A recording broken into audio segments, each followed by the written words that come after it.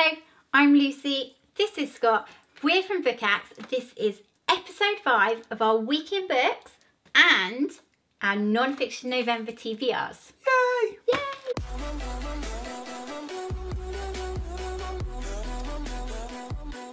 So, we are back with the Week in Books, our weekly video in which we talk about our favourite bookish news of the week. And absolutely anything from previous weeks. You It goes off go on any tangent here, there, everywhere. Just, yeah. It could Who go knows? anywhere. And then we stick our TBRs on the end.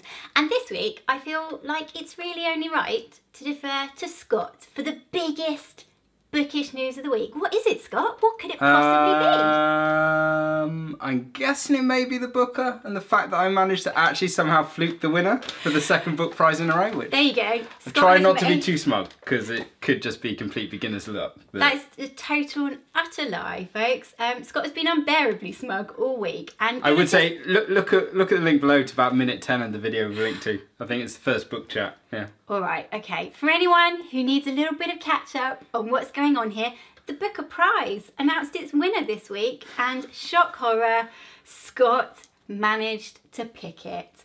Um, he also managed to pick the Women's Prize. So, two for two. He is really, really, really smug, folks. And I have to tell you, um, we watched the announcement live on the telly, and I was like, Scott, we picked it, we picked it. And he was like, Excuse me, who picked it?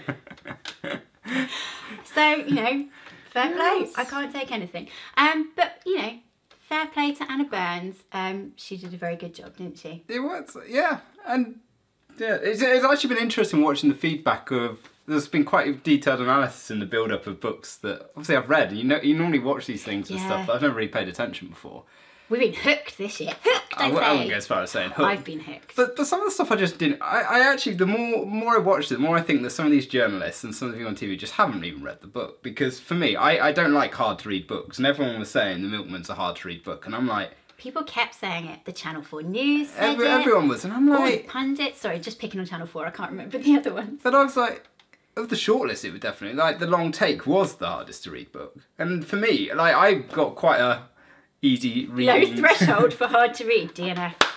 Yeah, it, it made you think, and it's quite rambly, but it's not really. It wasn't hard to read. It wasn't using hard hard words or really challenging grammar in any way, shape, or form. Um, so And actually, we saw, and oh, well, I've seen Anna Burns interviewed loads and loads this week actually, and she kept saying as well that she was surprised that people were calling it a hard to read book, um, because she didn't feel that that was what she was trying to write. So I think um, for anyone out there who's been thinking of picking up Milkman.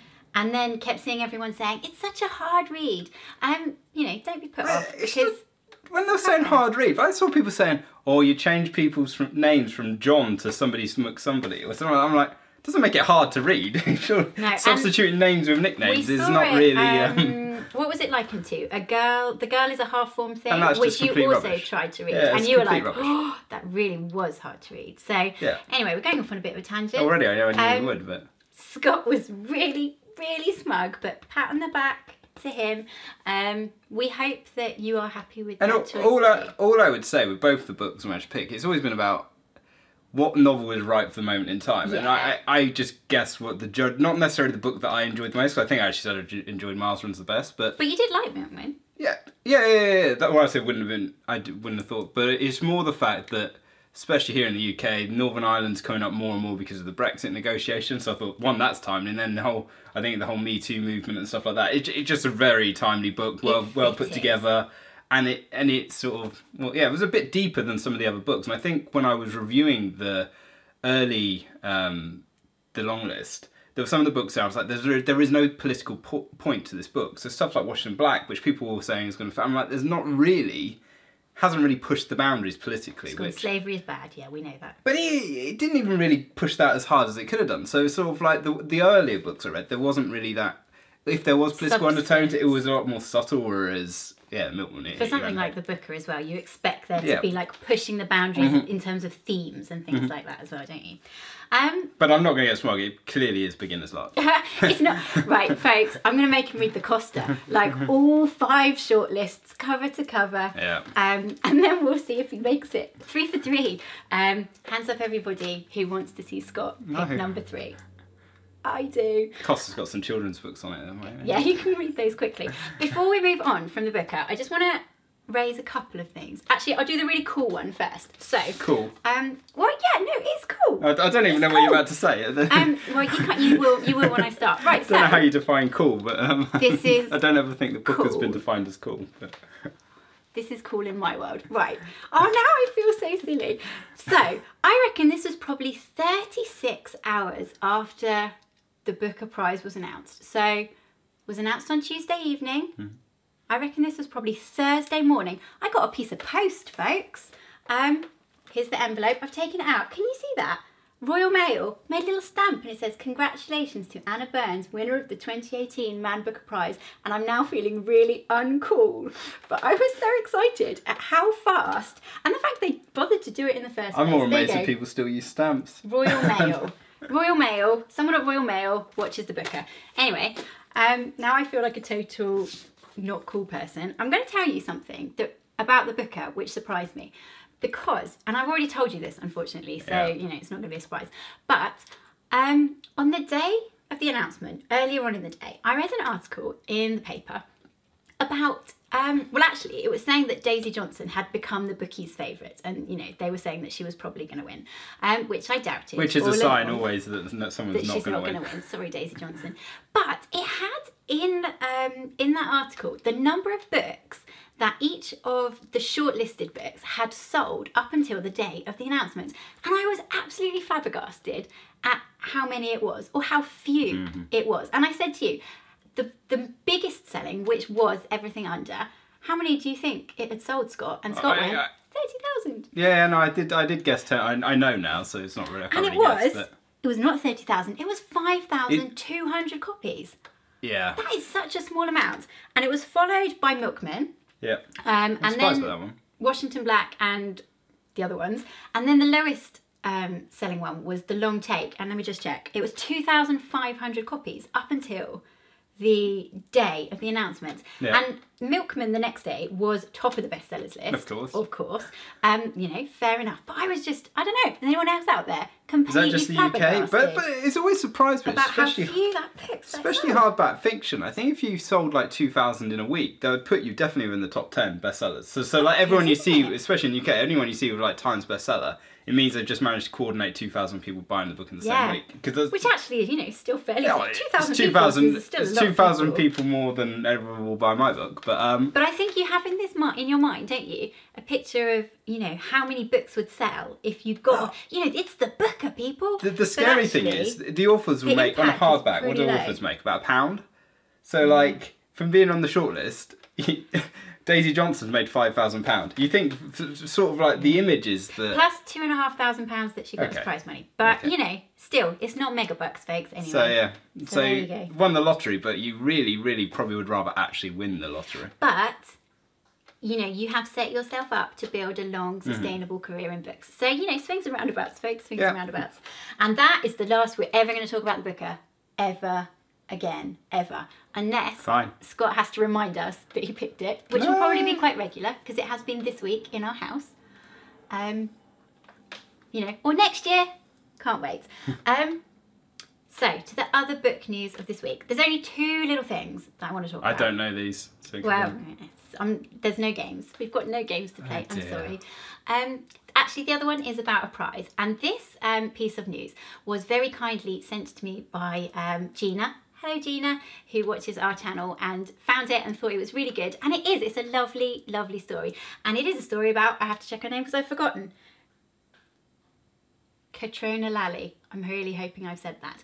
Now she won. Should the, I know who she is? she won the Rooney Prize for Irish Literature, um, which is for sort of emerging writers, and it is hosted by Trinity College Dublin.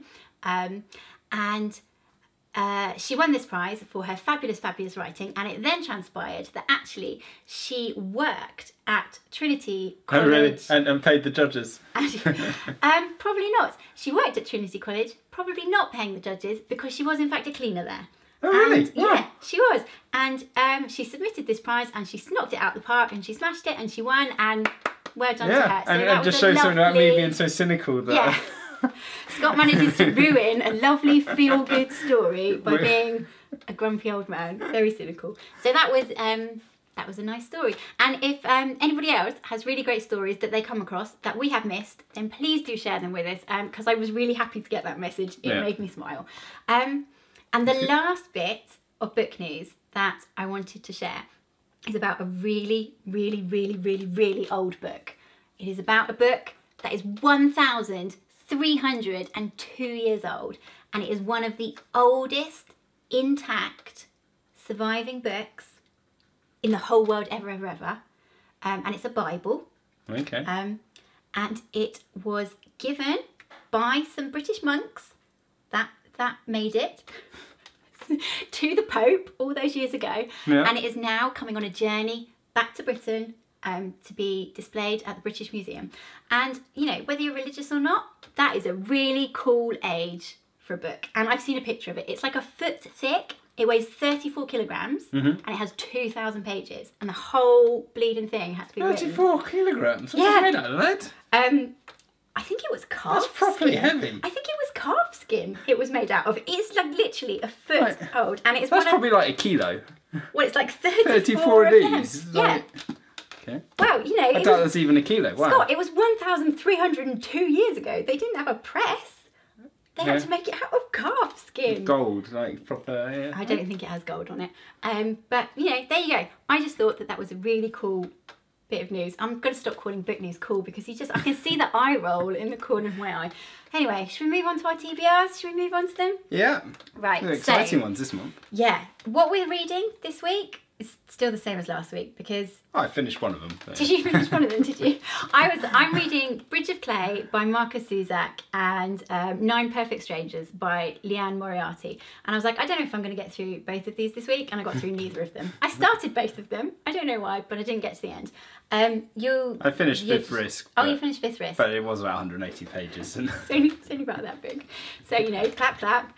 Um, but, so instead, because we can't tell you about those books, it's a bit pointless, we're going to talk about non-fiction November because um, it's fun. We're going to join in, aren't we? yeah, I, and I really. I really enjoyed it last year. So Yeah, last you year was, it, I yeah, yeah, did was the first year I did it, and um, yeah, I really enjoyed it. So I thought it, it I it's actually quite challenging to pick the books. and I'm sure we'll come into it in a minute. Yeah, it's so- it's harder than you. It's harder than you... Well, actually, Last year I probably found it easier. This year, oh yeah. Know. So, um, it's run by Olive over at a book Olive, Mm. and um, the principle is in November you read a little bit more non-fiction than you would ordinarily read. So if you read no non-fiction, read one book of non-fiction. If you read loads, read a bit more. Um, and she gives you some themes to work about. I've written them down actually. So you don't have to join in with the themes, but you know you can if you go. I, I like the themes. I like us. Do you want to read them out? You can. Can Go you on read then. So, so the way it is is like you have to pick a book for one of these two words. It actually had two words this time. Last year we only had one, but to start with, it's pastime or past time. Yeah. I'm Wonder, nodding like yes, you got it right. Well done. wonder or wonder, shelf or self, and micro or macro. So, So the idea is to pick books along those themes and read them in November. So this, folks, is our non-fiction November TBR. You go first. okay. So what did we start? What's the first one? Oh, do I have to tell them again? Um, Uh, pastime. Was it? pastime or past time. Okay, so this was a straight interesting one for me because I'd just like to say, a minute ago, Scott called me uncool for thinking that Royal Mail stamping the booker um, on a letter was was a cool thing. Wait till you hear what his pastime is, folks. Wait till you hear what he's picked for pastime. Crikey. okay, so so yeah, Oh, I, I, I it's not cool, or in my eyes it is, but I know I'm not Oh, cool. we're such geeks. We are such geeks. so so the book is Every, Everybody Lies by by Seth Stephens David Daviswitz.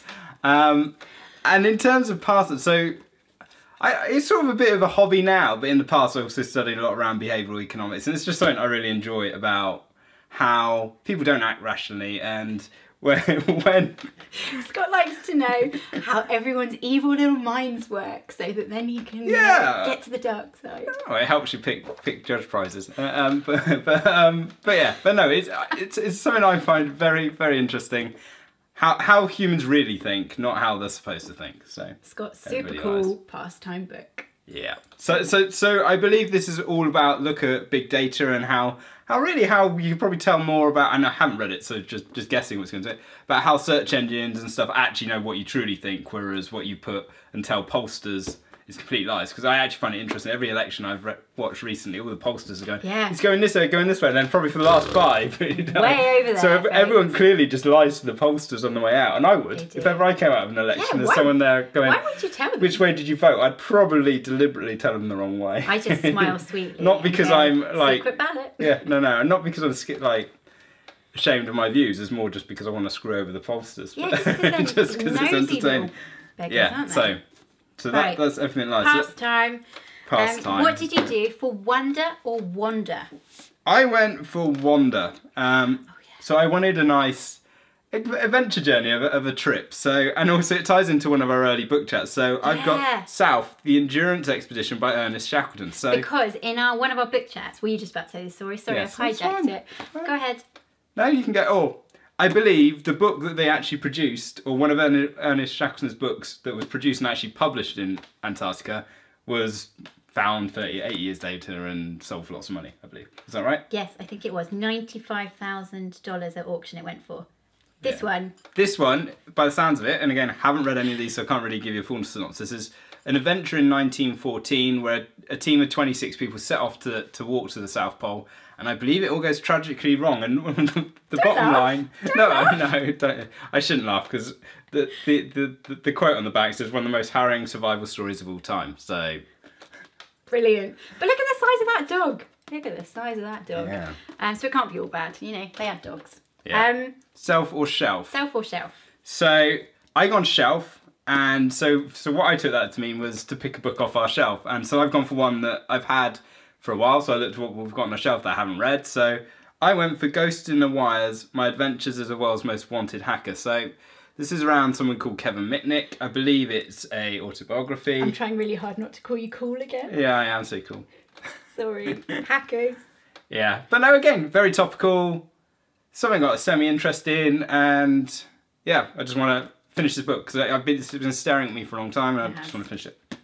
And the last one was micro macro. Yeah, and just to to round off my my coolness, I've gone for macro. This one does look quite cool. I yeah, like so I've gone for macro, and for me, I, I wanted to know something big, global, um, global politics, geopolitics at a macro level. That's the way I took it. So I've gone for Silk Roads by Peter Frankopan, and I believe it's a macroeconomic view of the growth of Asia and the old Silk Road in modern times. So the Silk Road. That's what So I've gone there for. you go. There you go. That is Scott's non-fiction November TBR. Would you like to know what I'm reading? Go on then. Okay, I'm going to tell you about the theme, the general theme first, um, because I might possibly Be have- cheating. I was going to say um, gently manipulated the themes, um, crowbarred the themes into, um, you know, basically the books that I wanted to read, um, which is fine because actually I can make it work. Because shelf, yeah, I'm going to steal your theory. Some of them were already on my shelf, Yeah. folks. Um, pastime, they all relate to my pastime, every single one of them. Five little ticks. Um, they're also about creating a sense of wonder for people, yeah? Bear with me. Um, and some of them relate to micro things and some of them relate to macro things. So I'm giving myself a tick. What would you have done if the round. with something completely different, Like I'd have found a different way Ice. to crowbar them.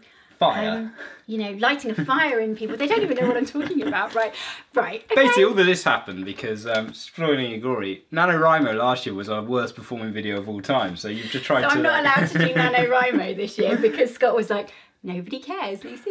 Nobody cares. Just- Um, hello, um, my name's Lucy and I'm also an author for anyone out there that doesn't know. Everyone else has just dropped off now. That's it.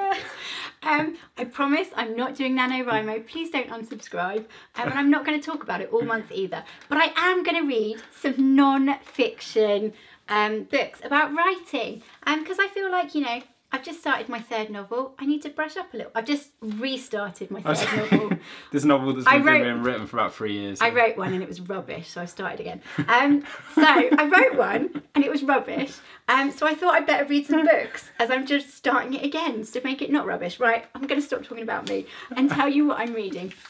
Um, and then at the end of non-fiction November, I'll do ju- just do a little wrap with them all together. So don't worry, people who don't care, I'm not going to spam you.